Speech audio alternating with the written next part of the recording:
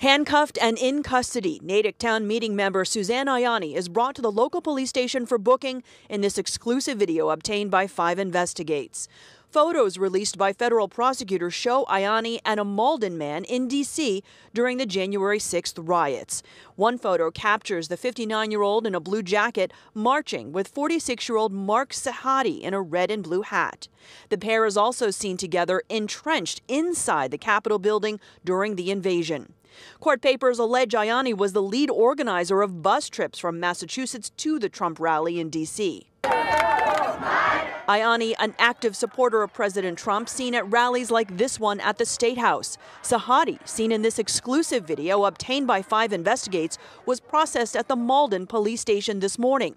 Federal prosecutors allege he was the driving force behind marshaling local residents to D.C. She's really, really hurt the reputation of our town. Ben Jackson of Natick penned a petition for the town to take action against Ianni.